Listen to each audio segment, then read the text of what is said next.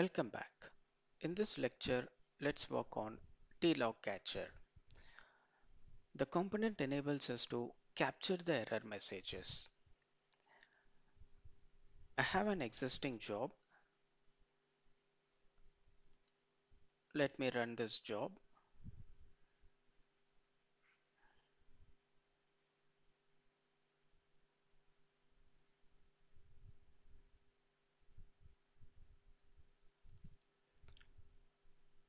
The job got failed.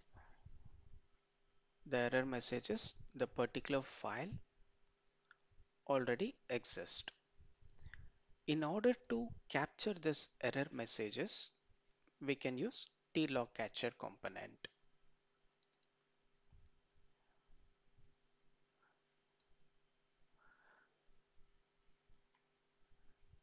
tLogCatcher. Let's print it in TLog row.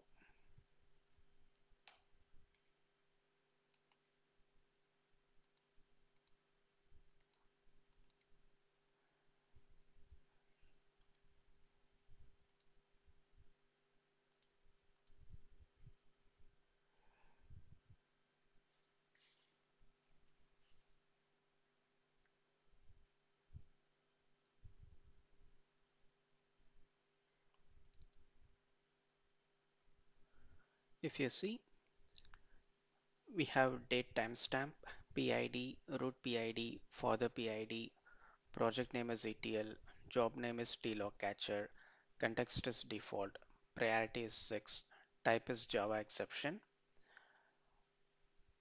origin is on which component there is a failure message. So it's tFileOutputDelimited component and the failure message over here. Finally, we have error code.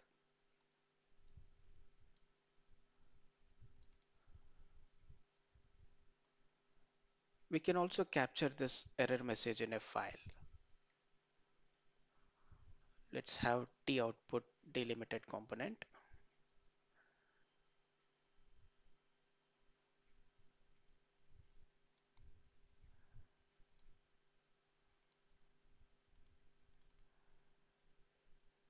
Let's define a path.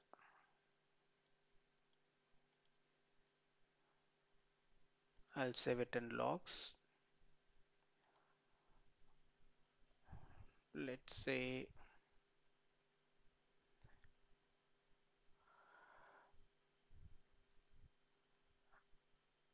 error underscore log dot log. So let's save this in a file.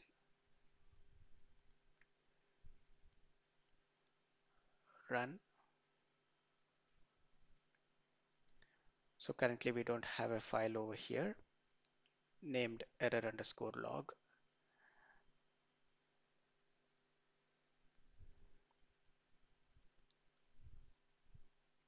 Let's check now. File is generated.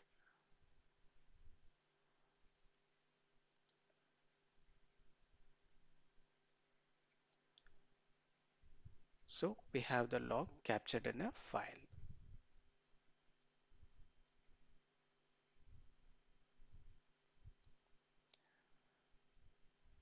Thank you. See you in the next lecture.